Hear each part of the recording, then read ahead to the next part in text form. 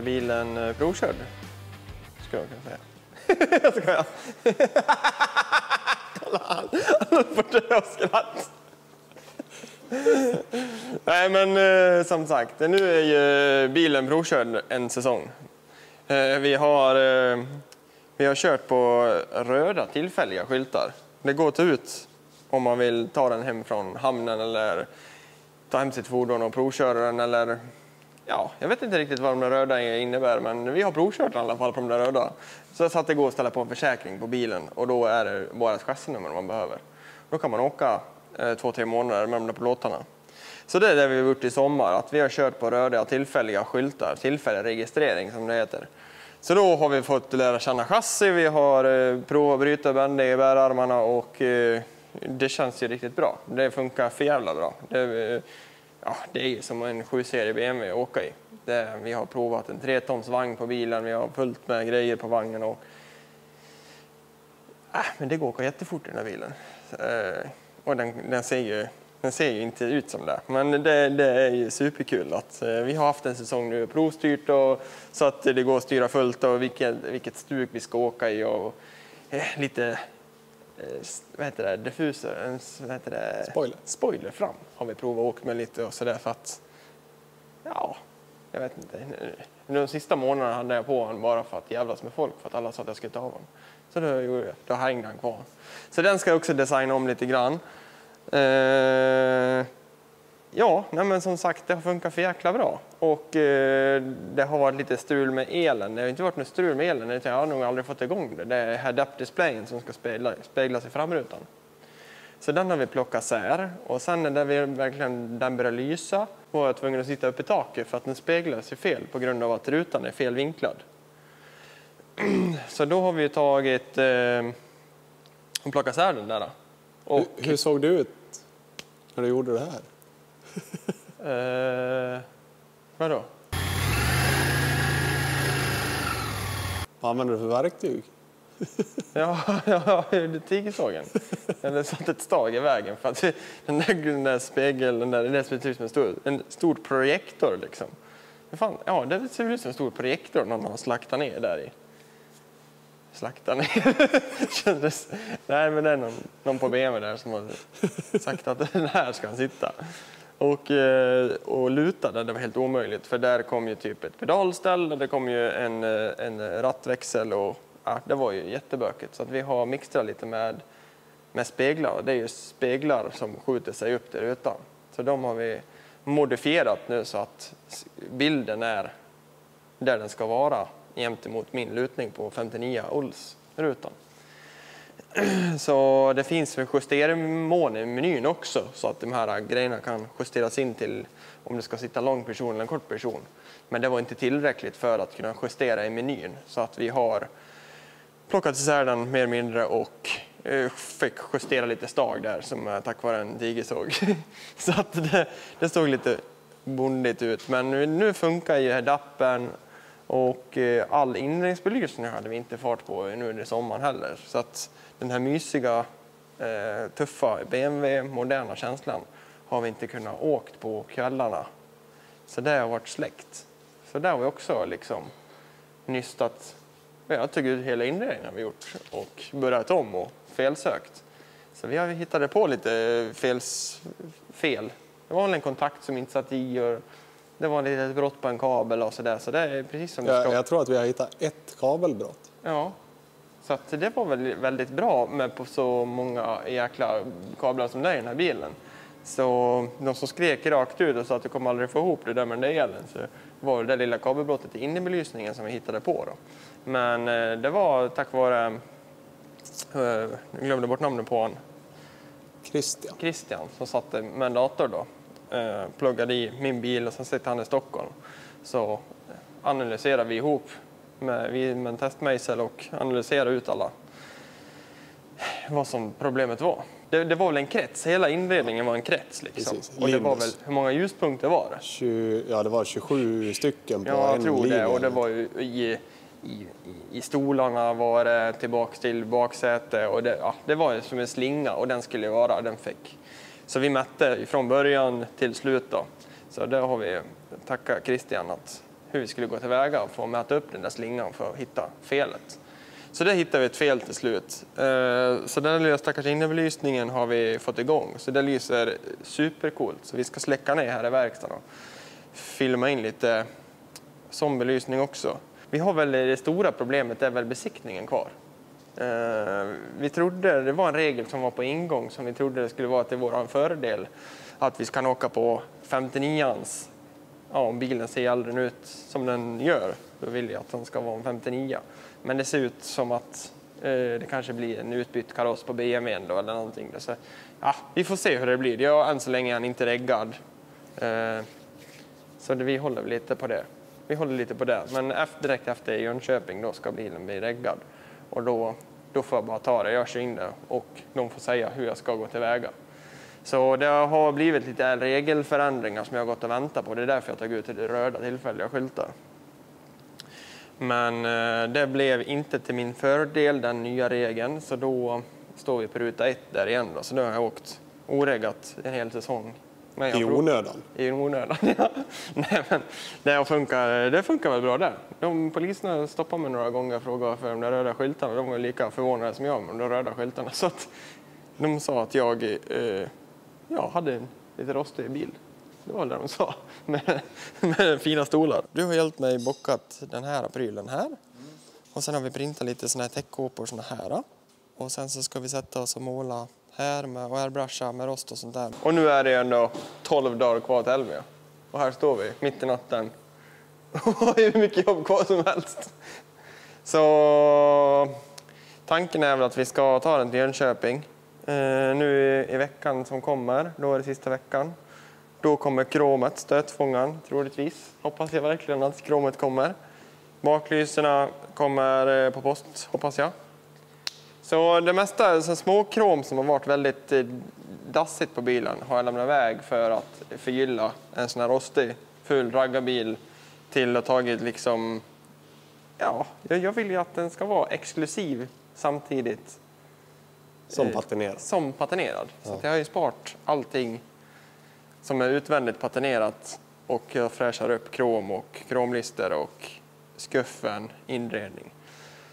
Eh, Jag har till och med airbrushat nu rost i dörrarna bara för att det ska se ut original fast det sitter soft close i dörrlåsen och eh, centrallås och ja, en helt modern BMW-dörr. Elstyrd. Ehm, så nu är det väl slutsteg och slutfinish på, slut, på skuffen som vi håller på med. Så nu är det väl vi bråkar om att LED-listen syns och lite inpassningar och vi har väl klätt det mesta så att det är färdigt. Och det gör vi, ja, det gör vi nog själva. Vi försöker bygga så att vi klarar av att klä det själva nu. Bara för att det är så pass tätt inpå.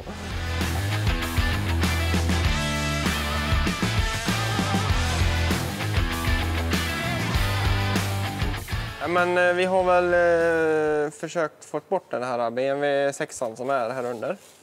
Men tack vare lite täckplåtar. Så det ska ju också andas lite modern, modern tänk här under. Och så här ser det ut i en modern bil. Det syns ju ingenting. Det har jag lyckats med. Det syns ju ingenting här under.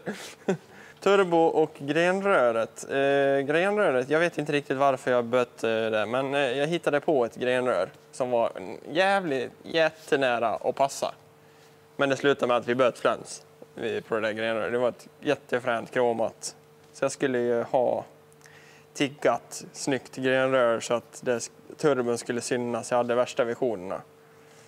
Men eh, ja, jo, det är ju säkert tre veckors jobb som ligger där som inte syns nu. Jag har assnyggt, as perfektionist eh, grenrör sitter där och turbon uppflyttad. Men ja, jag bygger täcklock och allting ändå. Så att, eh, det vart väl en liten miss i protokollet. Men turbon är uppflyttad som sagt. Eh, sitter rostfritt avgasrör hela vägen. Tiggade aluminiumrör ut in till coolen. Hade ett litet jäkla problem med att det var en anslutning som hoppade för mig nu i somras när vi var ute och gasade lite sådär. Så det vill säga, nu ska slangarna sitta när vi köpt riktiga kopplingar till aluminiumkylan. Jag har ryckt huv och skuff och sen har vi målat dem invändigt. Då.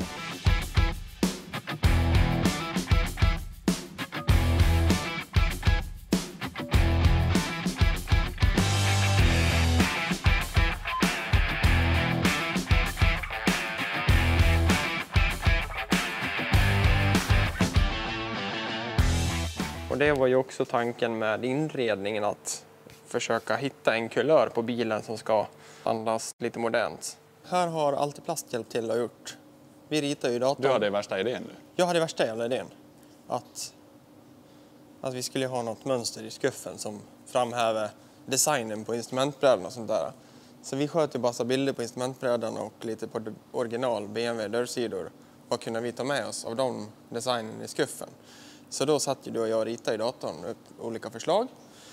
Och vi tog med oss skuffen också in i datorn så vi kunde rita med radier på skuffen och sådär också. Så att det varit jättefränt. Och sen så skickade vi den filen till Altiplast i Borlänge. Så kunde han fräsa till typ sådana här detaljer. Nu vart det en ren händelse att det ser ut som en BMW-grill. det var inte meningen faktiskt. Men, men eh, när jag såg att det vart som en BMW-grill då ansåg jag det att äh, fan, det är ju en BMW jag byggt av så nu, nu kör vi så här.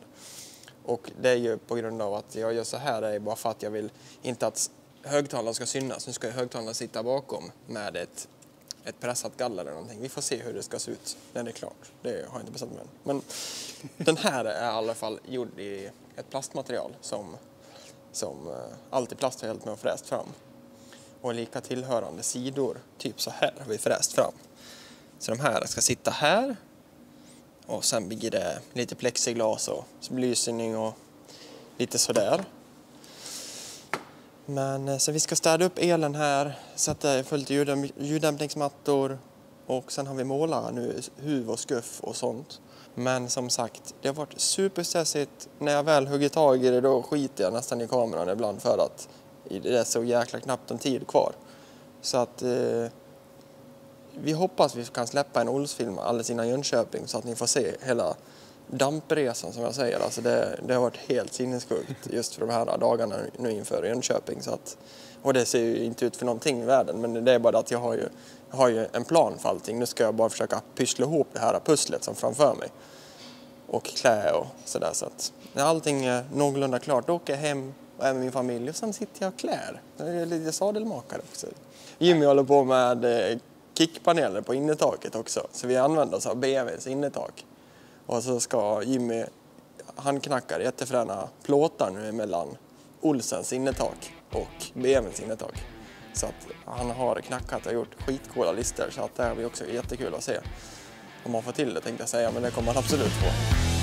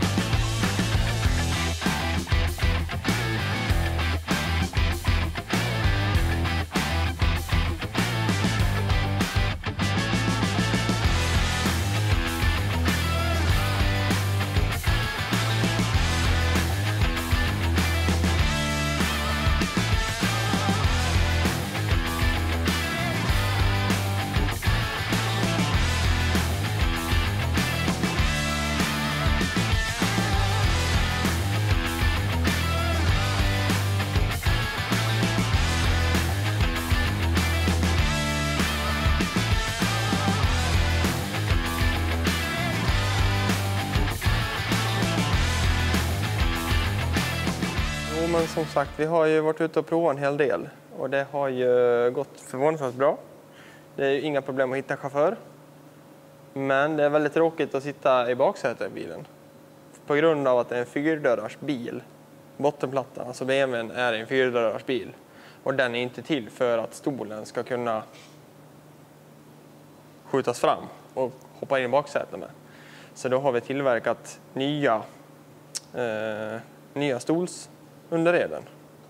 Så att vi kan tippa upp den på det här viset. Då.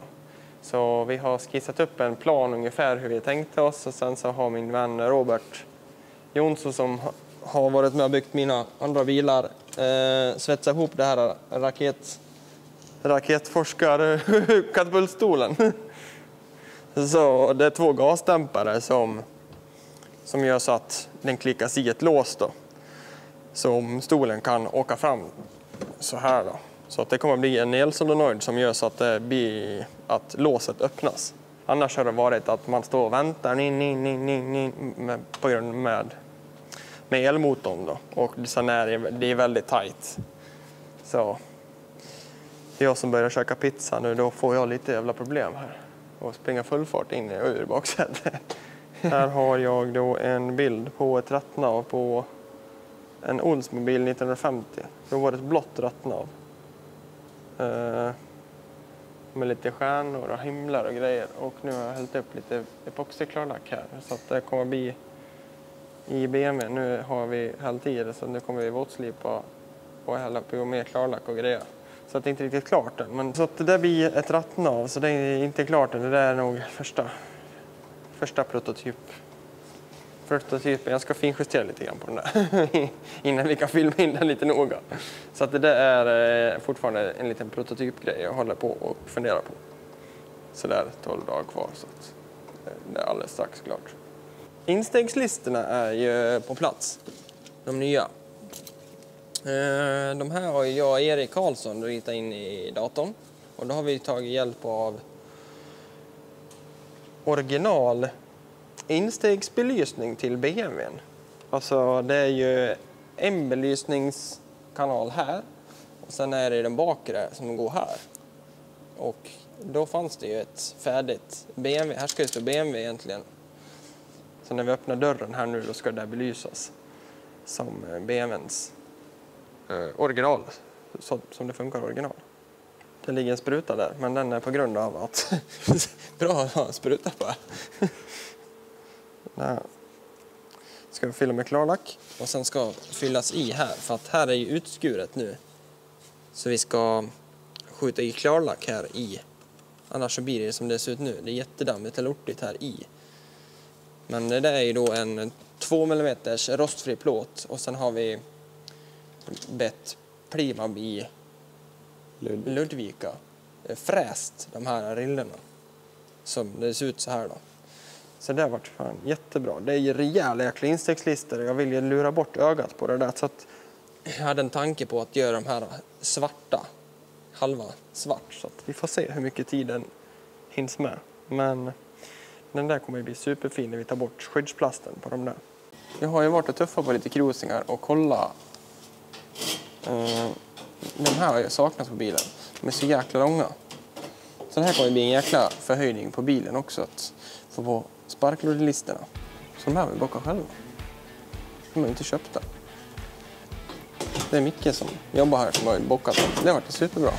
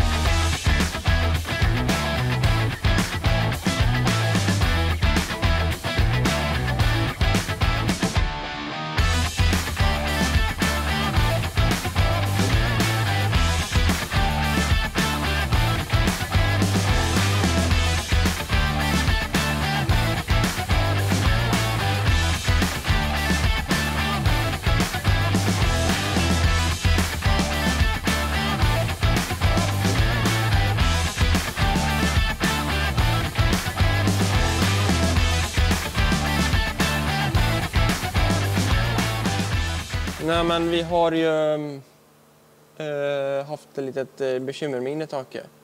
Vi har ju inte löst äh, innertaket riktigt äh, under hela säsongen som vi var ute och åkt. Så det, det har bara varit tagit med oss hela BMW-innertaket bara för att få med sig sminkspeglarna och all belysning och solskydden och sådär. Så att vi har tänkt att vi ska gjort ett helt nytt innertak. Och då kom min far med en bra idé att vi skulle plasta eh, utvändiga på plåten så att vi folerade taket svart. Och sen så plastade vi med fullt i glasfiber, glasfiberväv på hela innertaket. Eller ute på taket, så var det, utanpå taket. Och sen skulle när det hade torkat då, ta ut det och sen skulle vi ta in det och sen ja, få, få, få kapa i alla sminkspeglar i glasfiberväven. Då. Men vi ansåg när vi hade gjort skelettet på glasfibret att det var så mycket jobb så det var så långt ifrån att få allting att passa eh, så snyggt och klätt som det är just nu. Så att Jimmy som är plåtkonstnär här, han har gjort eh, plåtar emellan BMWns innertaket och Olsens tak. Så att han har gjort jättefina plåtar som går här som ligger ute på lacken nu. Det var jättesynd att de ligger där nu för att de är superfint gjorda. Och eh, tanken är att man ska få en lite modernare känsla. Jag kommer lägga allting i blankt, blankt svart. Och det är på grund av att BMW använder mycket eh, som är så här liksom. Och mycket så här inredningsdetaljer som i stolarna och vissa detaljer som det här är blankt svart. Så då är min tanke att jag ska lägga allt, det här är ju kromat original. Eh, Då lägger jag det blankt svart och bara få en modernare känsla inne i bilen. Och lika de här listerna som Jimmy har knackat då och kört engelska hjulet. Där ligger högtalargallret till skuffen. Så att det ska inte heller synas några sexhalvor där som sitter där i skuffen nu. Så de ska ju tala ut genom det här gallret. Det här var rätt så roligt när vi satt och designade skuffen. Då gjorde vi en högtalarsida, en högtalarsida, en design på dörrsidan. Och sen skulle vi bara sätta ihop de två. Så det var inte meningen att det skulle bli som en BMW-grill som många anser att det är. Men vi såg självklart då också att det såg ut som en BMW-grill. Men eh, då tog vi väl det för givet att fan, vi tog den slutsatsen att det är ju en BMW vi bygger på så att det gör ingenting. Men eh, det är ingen BMW-grill som vi satt dit, utan det har vi designat själva i datorn med en ren händelse att det råkar bli, se ut som en BMW-grill. Så det var lite tufft. Skuffen. Där är väl, eh, ja, säkert 500 timmar snart. Eh, vi har väl gjort hur mycket jobb som helst i den här skuffen. Det är... Eh, jag, jag vill ju ha väldigt mycket modern design som kontra instrumentbrädan. Så vi har tagit lite kort på instrumentbrädan. Jag har tagit på Pinterest och kollat på ännu modernare BMW-bilar och hittat väl typ en design som vi ansåg att var väldigt modern. Så vi designade upp den i Fusion. Och sen så hörde vi oss till vår fräskille i Allt i plast i Borlänge. Som kunde fräsa fram de här produkterna i ett plastmaterial då, som vi har målat matt silver då, som original instrumentbrädan är också. Att vissa komponenter där inne är ju matt silver och där vill vi framträda och få samma designtyp som i skuffen. Golvet har vi diskuterat. Vi har diskuterat säkert åtta timmar på om vi ska ha en glasskiva där eller inte. I den här bilen ska vi åka i, vi ska ju kasta grejer i den, vi ska ju kanske ha med oss någon ryckbart ibland. Och då tänker vi så här, men glasskiva är så jävla tråkigt att kasta grejer på. Men det slutar med nu då, två veckor kvar till Jönköping, att vi, vi kör, vi kör glasskiva, vi kör lite show. Och sen så om vi ska ut och greja med den här bilen, då får vi göra någon provisorisk skydd där då. Men det slutar med glasskiva och lika där att vi lägger in svart som instrumentbrädan och vi kollar på BMWns inredning. Och sen hade min far även varit på i USA och köpt klyvda aluminiumstänger. Som vi har, ja vad fan gjorde du? Du gjorde en jigg så du borrade och gängade i dem. Och det är ett jäkla jobb. Så vi har gängat halva, halva aluminiumet och sen har vi stått och polerat. Jag är en vända, du har stått och polerat en vända. Så att vi har polerat upp de här aluminiumstängerna. Så då kunde vi få den här raggarbils klassiska kromade. Det hade inte kanske passat att gjort det här i en modern bil. Tror du det Max? Nej. Det är, ja exakt, det är en liten hybrid så vi måste välkomna in kromet och lite raggarkänsla. Nej men det, vi har ju väl touchat upp allting. Det var ju väldigt mycket hop, hopplock och eh, väldigt nyfiken på om det funkade så det var väl ett... Många trodde att jag var klar, åkt, att klar med bilen som åka i, som förra året men det var ju ren, ren provkörning då. Så nu ska jag väl bara ha gjort rätt riktigt och nu vill jag känna att jag är på väg åt rätt håll. Så nu snart så kan jag, jag visa den här som ett klart ämne på element till exempel.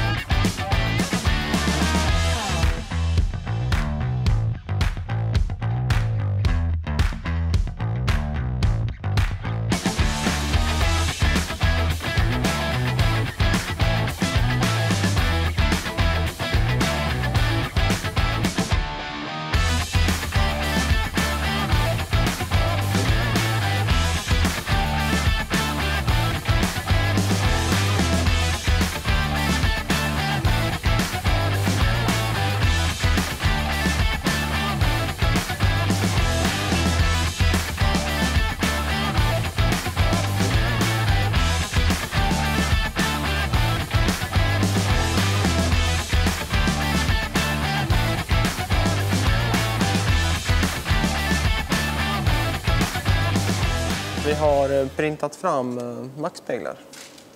Eller rättare sagt, det var väl Daniel i slutändan som printade dem. Vi skulle haft frästa. Men eh, eh, i ett sånt här bygge så kostar allting pengar. Så det slutade med att vi gjorde printa prototyper till att börja med. Och sen så nu inför de här veckorna då har vi bara upptagit det beslutet att vi målar dem svarta, eh, samma eh, matthet och nyans som fälgarna så kör vi de här. Eh, jag har inte åkt med några sidobackspeglar men nu har jag äntligen fått dit de riktiga backspeglarna och då har vi ju även 360-kameran som vi har följt in här då. Eh, och den gör ju då när vi kan backa och parkera att vi ser, ja som en modern bil, att det kommer upp i displayen vart vi har bilen någonstans. Så vi har tagit bort, vi har klyvt hela elhärvan. Eh, elhärvan till original backspegel, det är väl också en, ja, hur många kablar som helst. Det ska ju vara, det kommer ju upp en lampa när typ en bil kommer upp bredvid. Då ska en lampa börja lysa i backspegeln, det var blinkers i backspegeln, det är värme i backspegeln, du kan ju justera den upp och ner och hit och dit. Det var ju en rejäl elhärva så vi har ju liksom komprimerat den och bara haft elkablar som ska gå till kameran nu. Så att vi har väl ett kontaktstycke här som ska gå till allt det där men den, så länge det inte kommer upp en felkod som det inte har gjort nu i sommar på det så då, då behöver vi inte koda bort det heller. Men nu hoppas jag att vi kan köra igång bilen här och se så att det kan hoppa igång kamerorna. Det kommer bli jäkligt schysst. Det här blir ju superfränt med lite nytt och fräscht krom. Jag ska visa, vinkla upp den här på en. Och den här är ju också en stor designändring jag gjort. Jag har liksom fällt ner hela det här. Det här är mycket större gap, Olsen, än original. Så har jag tagit en stötfångare från den bakre, typ Transam 70-tal. Så den här är från en Transam, den här nedre delen. Så jag har kapat av den här för att få ner lite mer svulst på stötfångaren fram så han ska se lite gapigare ut. Man ska vara hungrig när man kommer på gatan och cruisar. Och sen har man förlängt den här då, för att här ska nummerskylten sitta egentligen. Egentligen? Ja, ja nej, men så nu blir nummerskylten sitta där ändå, men på, på Camaro Transam 70 då är ju vår nummerskyltshållare. Så den här ska ju vara mycket tajtare emellan. Men, eh, så att det är ju jättemycket meck med den här. Det här var väl bara ett yxbygge inför som förra säsongen för att kunna få en annan design på bilen. Sen när allting skulle kromas då Ja, för fan. Så farsan har lagt ner bra mycket timmar på att rikta upp den här och planera ut den så att den ska kunna kromas. Men nu är det krom på den. Jag är fan skitnöjd. Den kommer bli en- elegant. Jävligt elegant. En rostig, elegant raggarbil. Det är kul. Det är kul. Ja. Så nu håller vi på med att montera ihop alla parkeringssensorer, radarna, parkeringsradarna så att jag kan trycka på parkerings... så att bilen kan parkera in sig själv. Eh, Kameran fram här, den sitter också där. Så att man kan se alla kantstötta... Kantstötta... Följare. Väljare. Tänkte jag säga också men... De som gör så att kan inte stötta följarna, det gjorde Ja, fy fan. Nej, men liksom, ihopmontering, check på den. Nu måste alla bitar... Nu vill jag inte ha någon mer motgång om vi säger så. Den bakre biten, det är också jävligt mycket meck på den. Det är ju bara, det är bara den övre delen som är original och sidorna. Den här övre delen, det är original. Eh, 98. Den här raden har jag och Erik bockat själva i profil. Sen har vi tagit ut avgasrören från G11 7-serie BMWs då. Så att det ska vara BMWs. Här ska det vara något rimljus original, eller backljus kanske blir. Backljus är original. Så det enda som är original från Olsson det är den övre delen och de här hörnorna.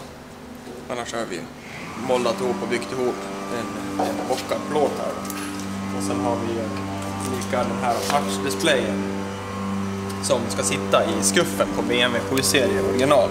Den som öppnar skuffen. Den ska ju sitta i skuffluckan original på BMW. Hela den komponenten har jag satt i, i stötfångaren här bak då, så att jag har nummerskyltsbelysningen där i den komponenten och lika med öppna skuffen. Ja, men då är det väl bara sex dagar kvar inför eh, att vi ska vara i Jönköping med den här bilen. Och det börjar lida mot ett slut. Eh, någon fadäs på lacken där så att eh, bilen ska in på lacken. Och eh, allting börjar väl komma på plats. Kromet kom i sista sekunden så att vi håller på att montera på allt krom. Och dörrsidorna är på plats. Ska dock ta bort dem och göra lite små ändringar. Men eh, dörrsidorna blev ju typ och såg ut så här i slutändan.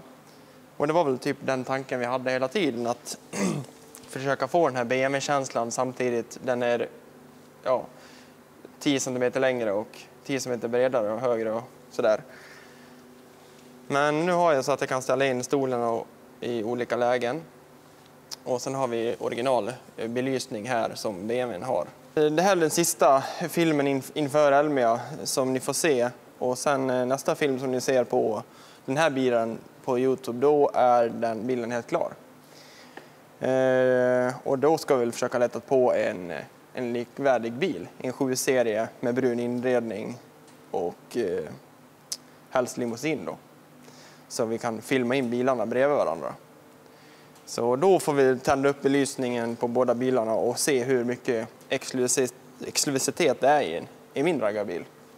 Så att eh, det har varit eh, en, eh, en sjuk resa ändå.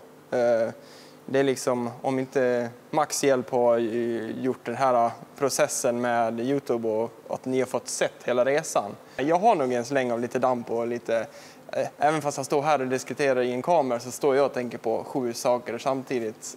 Så att jag är ju överallt och tänker, jag vill ju utveckla den här dörren tre gånger. Jag, eh, ja. Men du, men det- vad, vad är tanken med ett sånt här bygge då? Varför hugger man tag i tanken med sånt här bygge är ju ändå liksom bara att försöka eh, min kreativa sida, försöka förvandla den till något bra och det jag tycker om. Det, det här är det jag brinner för, bygga bilar åt kunder. Och det här är väl typ min reklampelare. Kolla vad vi kan göra här under det här taket. Eh, och sen har ju det bara barkats ur. Liksom. Det väl, när vi sätter en fräsmaskin i handen när vi gör skuffen till exempel, då bara kommer det nya idéer. Fan vad vilka jäkla coola radier det går att göra här. Och, Eh, den tredje maskinen och ja, men det har ju varit en jäkla resa, en riktig utveckling med Cambus-signaler och, eh, och det, ah, shit vilken jäkla grej vi har gjort med den här bilen. Så att eh, jag känner mig asstolt, jättenöjd. Så nu är det väl en sista film som vi ska filma in på den här bilen och då är det väl då ska allting sitta, då ska bilen vara reggad, då ska den vara klar. Men det är så svårt att komma med ett sånt här bygge till Jönköping och det är väl just därför vi vill släppa en film också, att vi vill visa liksom att hur galet projekt vi kommer dit med. Det är så svårt för mig att stå och berätta vad allt jag har gjort. Jag gillar ju det här patinerade stuket, jag gillar modern teknik. Jag, vill ju, jag har ju byggt min bil som jag vill, men jag, från steget till den här förvandlas och målar bilen, det är ju inte så långt ifrån heller.